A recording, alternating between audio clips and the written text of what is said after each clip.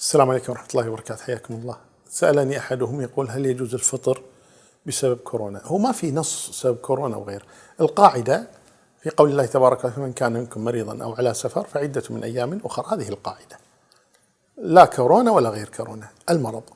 إذا كان الإنسان مريضا ونصحوا الطبيب بعدم الصيام لأنه يضره فإنه يفطر.